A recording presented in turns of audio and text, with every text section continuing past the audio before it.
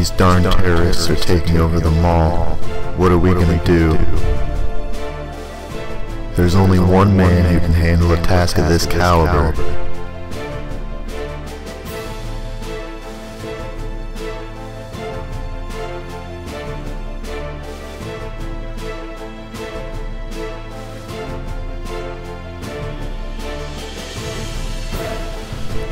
Somebody order a mall cop.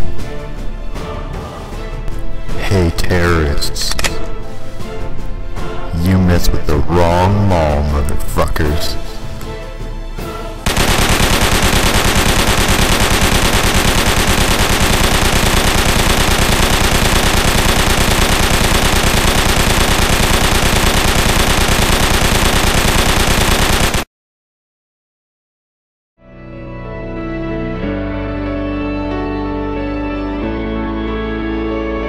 he's gone.